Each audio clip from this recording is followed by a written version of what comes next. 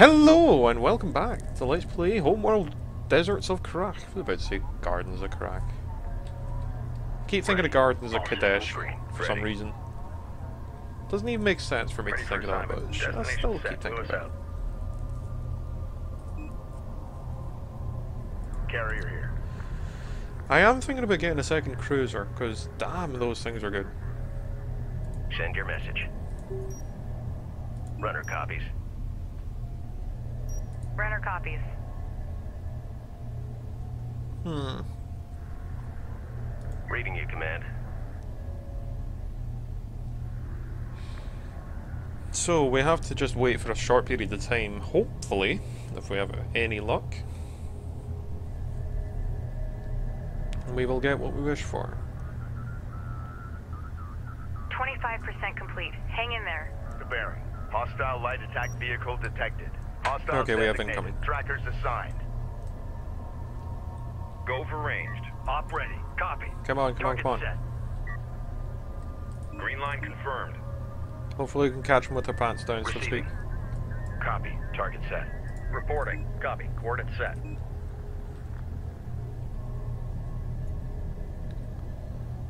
Uh, scavengers is F3, tactical, quick select F2. Select all ground-based combat units, interesting. Ready. Okay, Copy. come on. Clear to engage. Punch it. We gotta go. We'll get them engaged and then we'll pull them back Craft in. taking effective fire. Okay, this way. Armor You're ready. literally just gonna We have a key. target. Ready. Point set. Roger. Moving to guard. Hostile strike craft down. Perfect. That was more than perfect. Receiving. Hostile sighted. Reading. Move order confirmed. Get us underway. We should really keep an eye on this Going site. mobile. Strike copies. The data we've already collected is amazing. Hostile. Moving. Come on. Overdrive. Punch it. Clear out. The railgun is taking effective fire. Armored vehicle is taking fire. Hit that target with smoke. Come on. Taking fire. Damn it. Railgun lost. Oh, railguns are hard to use, seriously. Keep steady. Watch the arm. Target locked. Moving. Orders. Enemy light attack vehicle marked on approach. Gun on. Steady fire. Yeah, get light attacks, we'll Fire. Push it back. get them to deal with the tanks. Strike craft destroyed. Scan at 80%. Hmm. Just a little longer. Pending. Reading.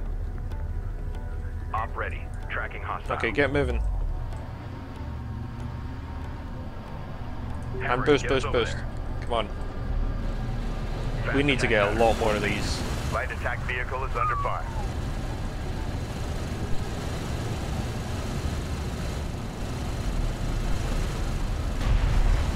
Hostile range craft destroyed.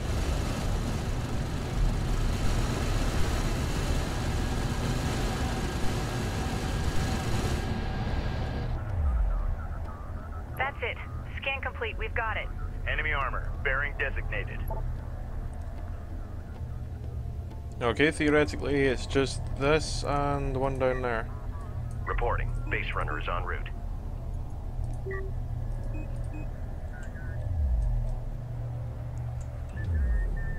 Actually, you know what, base runner? Go ahead. Stay where you are.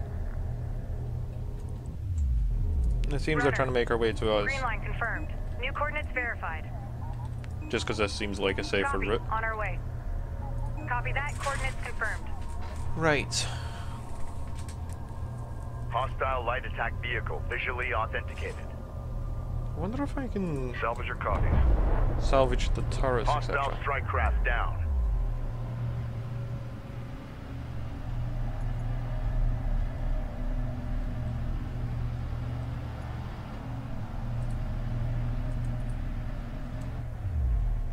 Nah, it doesn't seem so. Okay. Well, it was worth a try.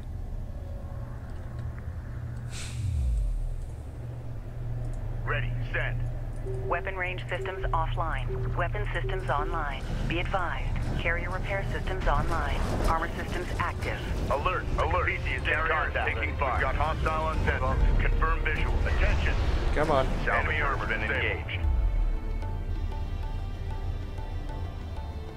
I'm actually perfectly fine with Mark the carrier being attacked, honestly. Strike fighter approach vector dialed in. Strike systems online. Ready to burn. I'm sorry, but that looks so cool. Go ahead. The turret is under Fires fire. do look interesting, though. They're VTOL! Strike craft destroyed. VTOL craft are just so cool. I love VTOL quite capable craft. Anyway, we need five light assault. Tracking armored craft on approach. Five of those. Op ready. Mm, Armor ready. one, two, three, four, five, six, seven, eight, nine, ten, Light 11, attack 12. vehicle online. Kapisi copies. Ah, 13, 14, 15. Light attack vehicle in service. They're just serving me so much better, personally. Light attack vehicle online. Another production cruiser. Light attack vehicle in service. Uh, go after Armor that. vehicle taking effective fire. Hostile light attack vehicle detected.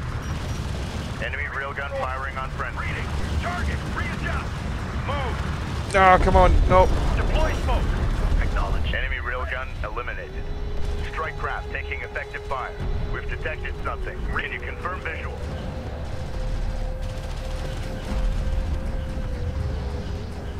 Reading. Ah, no, come on. Ah, Alert. LAV down. I hate when they just sit there doing absolutely nothing after they've finished their task. Op ready. Armor copies. Target to front. Ah. Receiving. I literally lost basically all of my strike craft because of that.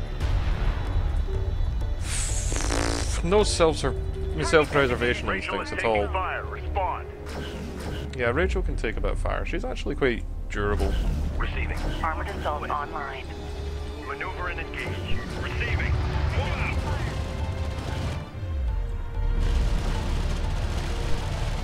Go for orders. Go ahead.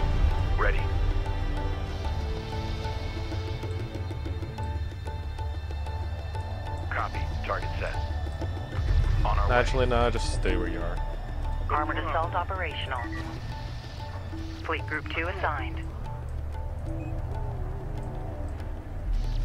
Light attack vehicle online.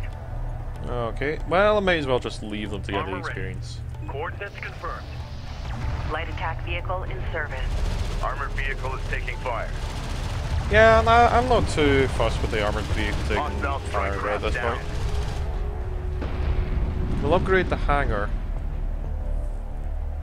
And the armored attack vehicle's recharge rate. vehicle online. Or should we upgrade the effectiveness? Research completed. Hmm. We'll upgrade the effectiveness and then we'll go into the recharge. Because that effectiveness boost I think will be spectacular. Strike copies. Reading. Control group 1 designated. Uh, 8, 9, 10. Well, like that's a round enough number, I guess.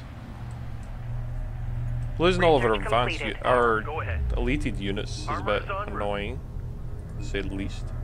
Ready. Green line confirmed. Move order confirmed. Op ready. I would Reading. like more than just the two of them, so Make ready. first off, one more of them. So we actually have a full wing uh, per launch. And another three of those. Strike fighter ready Oh, we've reached fleet capacity. Oh. That doesn't feel like fleet Reading. capacity. Huh. Oh well. Strike fighter coordinates dialed in. Attack vector dialed in. We're in the pipe.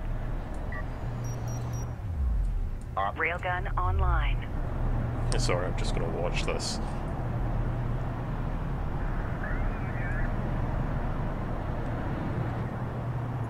Well, these move, attack, return to carrier.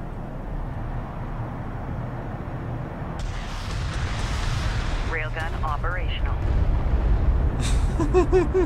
Strike craft. Oh, we've been attacked! Oh, I guess we'll just sit here. wow, I... Sure. Ugh. That's what I'd do if I was attacked by a bunch of fighters. I would just go, oh, well, we Railgun better just stay here. Control group 3 designated. Confirmed. Op ready. Op ready. Railgun reading you. I should actually make group 4 like, uh, well, group 9 is right now at this rate. Or 10 is, I mean. Support ready. Control group 4 designated. Receiving. Go for armor. So we'll do that. Move out. All you guys are basically congregate in one area. Science officer en route. We'll make it easier by going like that. But seriously, the repair ability is really quite useful. Captain. Uh, hmm. Oh yeah, I was gonna go with the recharge ability. Ready. Reading. Op ready. Move order confirmed.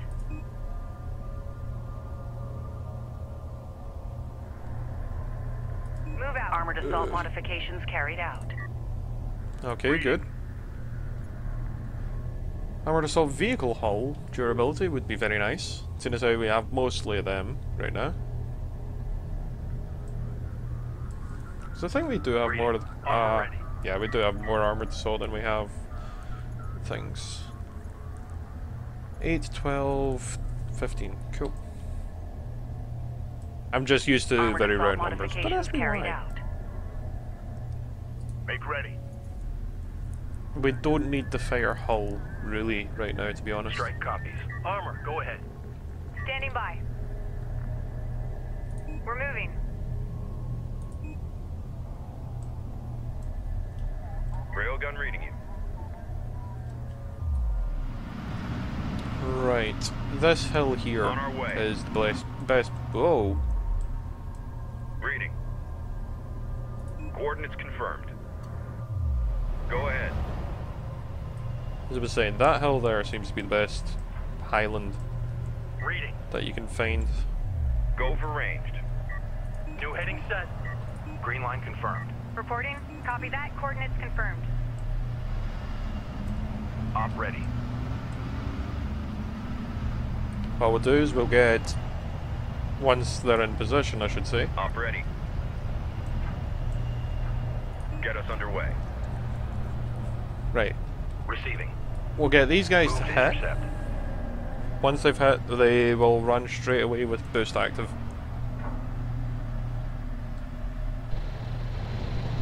So hit, drag them in, boost activate, and pull out. Go, go! Go for armor. On our way. Ready for orders. Hostile strike craft down. Fire. Armor vehicle taking effective fire. Move order confirmed. Enemy armor disabled. Reading. And push way. forward again. Op ready. Strike copy. And Tracking again with the same hostile. thing.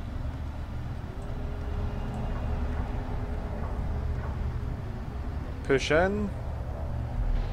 Guard Hit. detail for Boost away. Overdrive, punch it. Cool. Armor ready. Oh.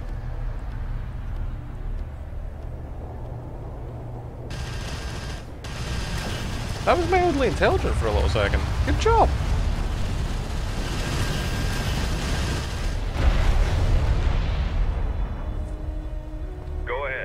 May as well Green actually light just peek them over the ridge. Go for armor. Armor is en route. Go for ranged. Tracking target. All operators alert. Hostile approach confirmed. We copy. Board has been updated with hostile trackers. Ready. This is Rachel going. Strike craft New heading. destroyed. We're cleared. Fire! Okay, good job. This scan is unusual. I've never seen anything like it. I need to start breaking down the data immediately. Understood. Great job out there. Thanks. We have successfully completed our scan of the Kalash rack, but it may only be a matter of time before the Gaalsien carriers vector onto our position. Okay. I suggest we get moving before then, then. Intel, I fed the scan data into the computers and added my spectrum and IR readings.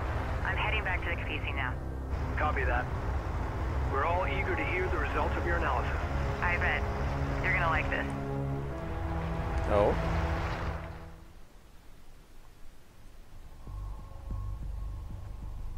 Personal log, Captain Roman S'jet, Expedition Carrier Kapisi. These sandstorms have taken a toll on the old girl, but she's a hell of a ship. We're managing well, considering the haste with which we launched.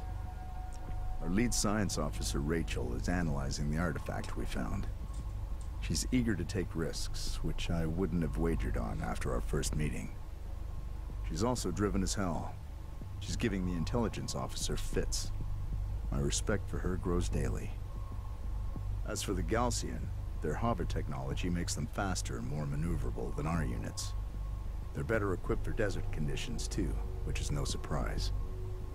But their hit-and-run tactics, which I've seen before, always leads to something much larger and more dangerous. It's only a matter of time before we are truly tested. Hmm. Well, Kapisi systems are now running at full capacity. We have a total power of 3 and we have uh, 490 uh, million litres of uh, fuel and 16.39 million litres of water.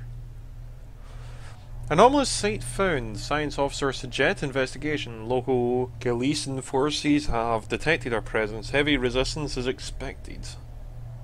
Hmm.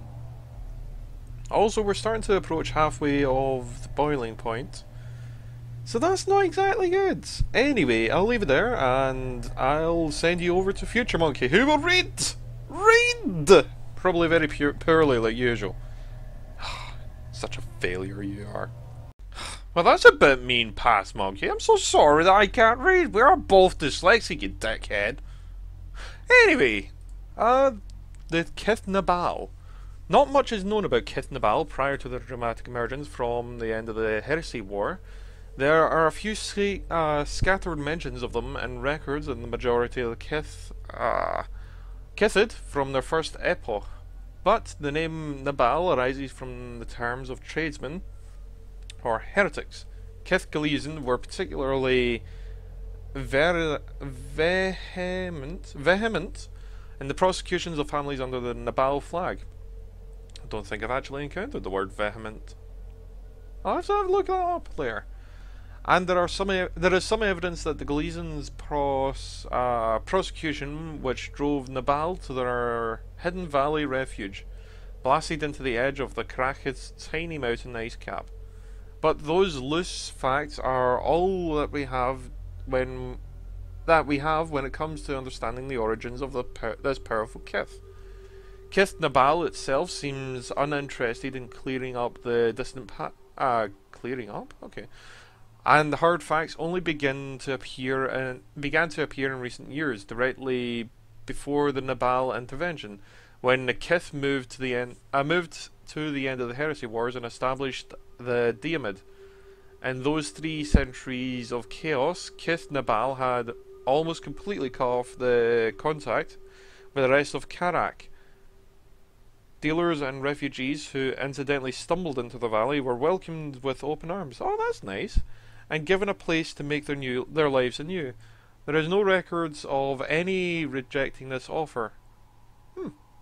So they were uh, not quite sure what alternative they might seek. Small parties, always made up of families with direct fire, fi- fel- fealty to the Kissa were sent out occasionally to bring back texts that were in danger of destruction. Occasionally, because the cities that held them were being uh, consequently sacked. Sometimes these parties would even spirit away scholars imprisoned for heresy.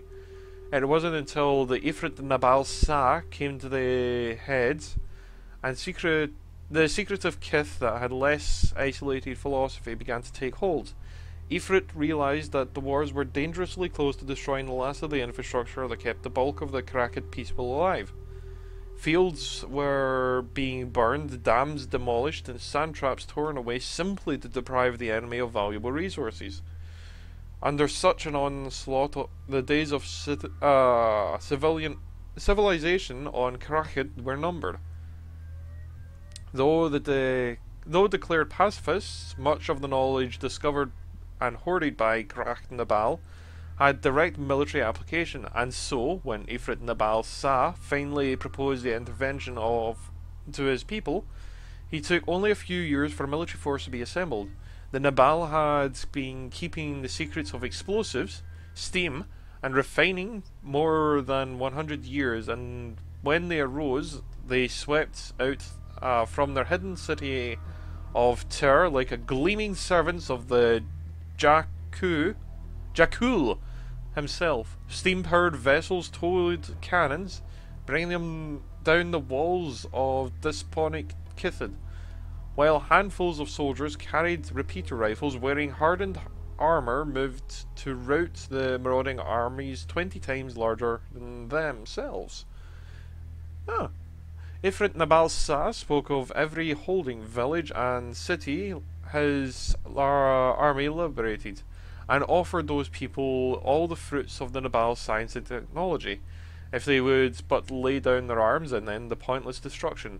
Unlike the major powers in the heresy wars, Nabal Sa did not demand reunification of former Kithid ties. He asked that he was an... All of that he asked for was an ending. The Lesser Kithid, brutalized by nearly 300 years of war, gratefully appreciated his terms. And soon the Nabal army had grown 50-fold. Oh!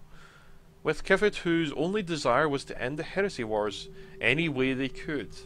And, in three short years, they had done it. Ifrit Nabal Sa's last act was uh, stepping down as Sa was established was to establish the Daiamid and Tyr as a, a place where all Kithid, powerful and meek, could gather to resolve their disputes and select political policy for all Krak.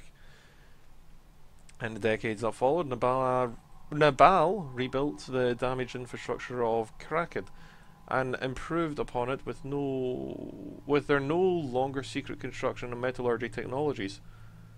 Some any minor Kithids were appreciated and were accepted in Nepal if they had simply wanted to learn new crafts and trades. These same Kithid were then allowed to go on their way to choose well, are allowed to go their way if they chose. Huh. And many of the major industrial kith in the modern world began under Nabal's wing. By the time of reason, 200 years later, Kith Nabal had replaced the perilous sand uh, sail routes with to the uh, south with rail-mounted steam cars, and had given Kith Paktusa to the southern polar region a permanent per, uh, presence in the Daiamid. Keith Nabal seemed content to fade slowly into history for many years, but recent stresses on Krakid society, mainly the encroachment of the desert sands on many settlements in the north, have increased, increased the hostility from Keith, uh, Keith uh, sorry, and the increased hostility from Keith Galizan seem to have seared, steered the Nabal back to the forefront of politics. Nabal has formed uh, permanent alliances with both the S'jet and Suban uh, Kithid and has taken the lead in organization in organizing both expeditions to the Draki anomaly. Financial and uh, financial analysts have noted that the heavy Nabala investment in aerospace research uh, with special interest on proposed uh, facilities in lower Krakid orbit and beyond, regardless of the detailed plans, it is very secretive. They are a very secretive kith. Uh, it should be clear to anyone on the political screen that Nabal has always had an eye in the future and a deep commitment to putting the uh, a deep commitment to being on the cutting edge and shaping the future. Kith Paktu. Prior to the year 462 KDS, Kith Paktu was one of the major farming Kithid, living uh, on the slopes above the Salt Sea. On the year their most uh, famous leader, Majar Paktu, was born, the long rift between the religious leaders of Keith Sidim and Keith Galizin, which were uh, which were then the most powerful Kithid in the north, finally became the unbra- an unbridled dividends in 462, unbridgeably divided, sorry, my mistake. In 462 KDS, the famous Sadim Council announced that the new dogma, the traditional Sadim cosmology, which once held that all Kithid on Kharak were exiled from a heavenly paradise, was abandoned. The truth, uh, according to the procla- proclamation of 60, uh, 42, I'm sorry, 462 was that the Sadim were of divine origin. All other Kithid were native to Krach, and therefore inferior. Their blood tainted by the corrupted sand. Oh, okay. Uh, in accordance with new dogma, many cruel pogroms were passed against the non-Sadim Kithid. Uh, the people known as the uh, Dam or Sand People were far from the harshest of these measures was the Clean Water Act, which forbade non-Sadim Kithid from living on the headwaters of the river or stream, lest they foul the water which the Sadim downstream would have to drink. Hundreds of thousands, hundreds of families were displaced by Sadim Templemen, returned, uh, turned out of their ancestral homes and made to march down street, carrying as much of their former as they were as they could. In 488 KDS, the Kith II rejoined the ranks of the disposed. Hmm. At the same time, the temples of the neighbouring Kith Galizin were had become obsessed, okay, with the sins of pride and by the redemption of Krachid through suffering. The Sadim made obvious targets of the seminars by the Galizin noble holymen. For every Sadim sin of pride, they said, a more brutal, excruciating ex, exp, ex, uh, exploitation? No. Expedition. Oh, I'm sorry. Was demanded by the gods of Kharak, Lether Kithid in the north, already suffered under the weight of the Sadim oppression, were often willing to join their holdings to the Gleason rather than see them taken by the Sadim Many welcomed Gleason soldiers and templemen to their uh, holdfasts, only to find themselves held at sword point and made to watch as their sinful books and belongings were burned to appease the gods. Heavy tributes and of both food and fodder were demanded by the Gleason armies, and appealing uh, sacrifices were sometimes demanded. Appalling sacrifices were sometimes demanded by the Gleason priests who saw no reason why the pure of heart should not should suffer alone. Clashes between Sadim and Galizan holdings intensified. Over time, even the remote Kithid were forced to choose sides. Both great Kithid were too powerful for any smaller Kith to challenge uh, on its own, caught between the proverbial rock and a hard place. The Gadim were finally ready to try the unthinkable, crossing the Great Banded Desert in the south, looking for new land. By this time, Midger Paktu had become the Paktu Kithsa. Though the first migration had not been entirely his idea, it is certain that fate of all people that are there. it is certain that the fate of all the people of Keith Paktu was in his hands. It is difficult for us to imagine uh, today what he must have felt as his people built the first great sailors on the edge of the desert. Though many Krak believe Kraki believe that there are there might be arable land in the southern pole. No one had ever attempted to cross the Great Banded Desert. Uh, returning to te- return to tell the tale. The only confirmation that the land to the south and southern desert desert came from a mad manani travellers rambling about the endless seas and grasses that touched the sky. The migration offered only slim hope at best. So slim that no kraken, uh, kraken dared to risk it until there was no hope at all.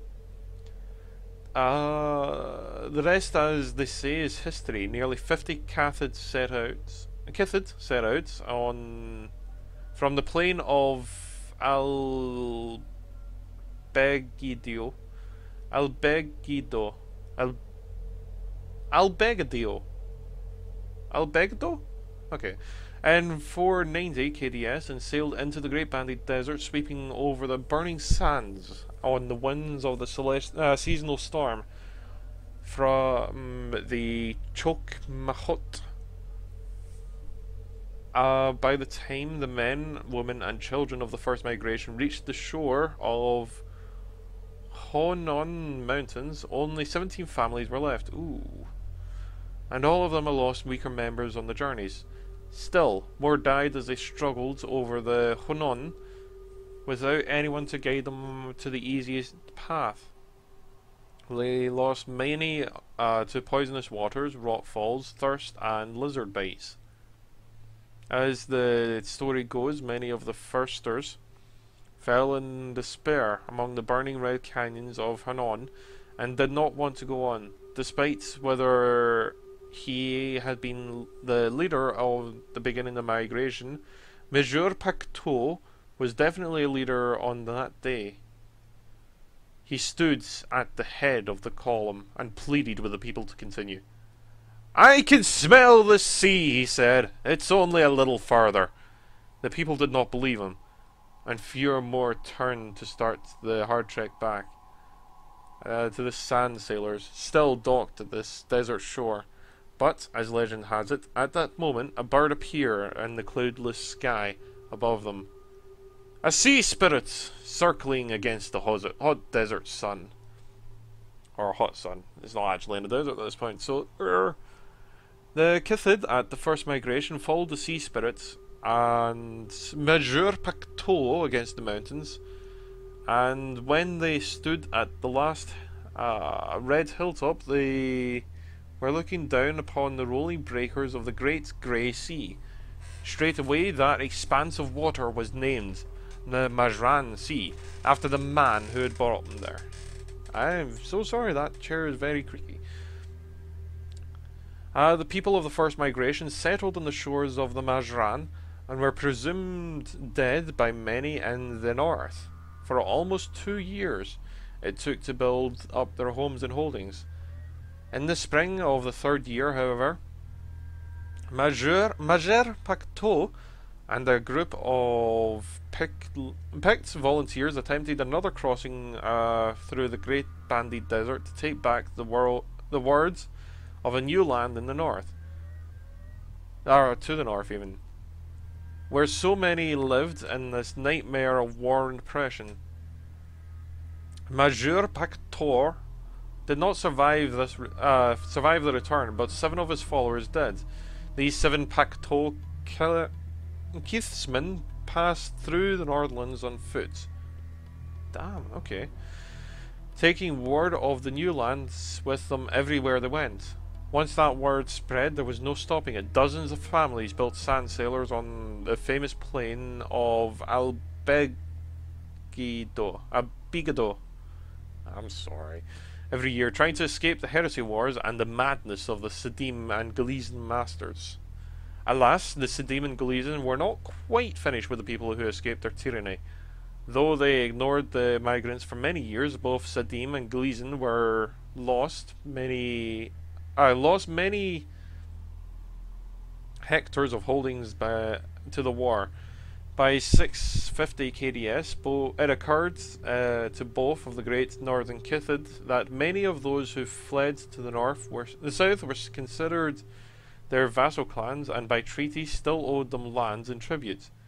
There were at least three major attempts to assault the southern lands in uh, 652 to 700 KDS. The last of these was the most successful. The army of Liam Galizan actually arrived on the pass of the Haronon Hon, Mountains was intact in the spring of 689. 698, sorry. Uh, KDS, ready to subdue the unruly Kiithid in the southern lands and their Kithsa. On the day, Kim Pakto, the grandson of Ma- Major Pakto and Pakto Kithsa, uh, arrayed an army of three 30,000 swords on the shore of Majran. Every one of them who wore the colours of Kiith Pakto and every banner, every standard bearer carried the flag. These are my people, Kim Pakto said, and this land is ours. You have no vassals here. Badly outnumbered and facing a fresh and well supplied army, Liam Galizan, nevertheless, uh, led his troops to the battle. Very few of the Galizans who survived, who followed him that day escaped with their lives, though they killed thousands of Pakto. The southern Kithsa eventually prevailed, and no such crusade was ever attempted again. To this day, the flag of Pakto is white, and the color of the color of the sand sails which carried its people across the banded desert. Oh, emblazoned with the sun sea, uh, stained red by the blood of those who died in search or in defense of freedom. Silhouetted against that sun is the shape of the sea spirits, an eternal symbol of hope and faith. Pakto believed fiercely of and uh, believed fiercely in independence and espoused priests, dictators, and dictators. Its people who are optimistic, innovative, and venturesome when things are at the darkest, someone uh, will always repeat the Kiith's motto I can smell uh, the sea. Huh. Interesting. Yeah, that does look like a sun. I will I will say that does kind of look like a sun. Kind of upside down in my personal opinion, but yeah, we'll, we'll say that looks like a sun. Oh my goodness. Wow, we do have quite a bit to go, don't we?